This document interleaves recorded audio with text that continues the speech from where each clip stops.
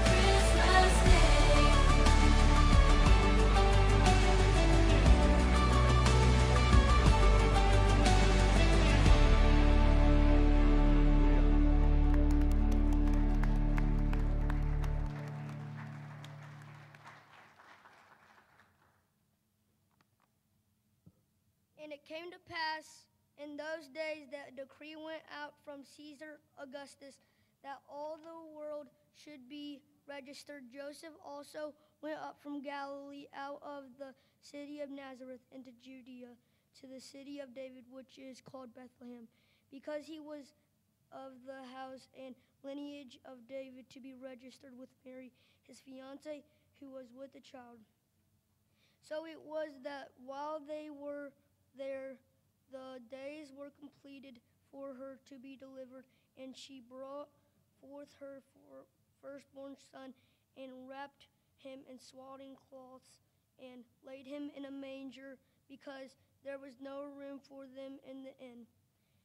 Now there were in the same country shepherds living out in the fields, keeping watch over their flocks, flock by night. And behold, an angel of the Lord stood before them, and the glory of the Lord shone around them, and they were greatly afraid.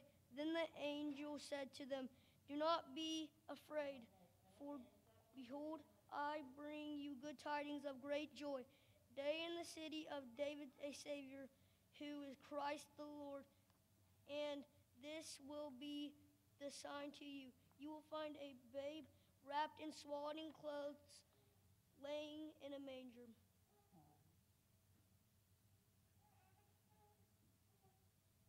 And suddenly there was the angel, a multitude of the heavenly host, praising God and saying, Glory to God in the highest, and on earth peace, goodwill toward men. So it was then when the angels had gone away from them into heaven that the shepherds said to one another, Let us now go to Bethlehem and see this that has come to pass, which the Lord has made known to us. And they came with haste and found Mary and Joseph and the babe lying in, the, in a manger. Now, when they had seen him, they made widely known the, the saying which was told them concerning this child. And all those who heard it marveled at those things which were told them by the shepherds. But Mary kept all these things and pondered them in her heart.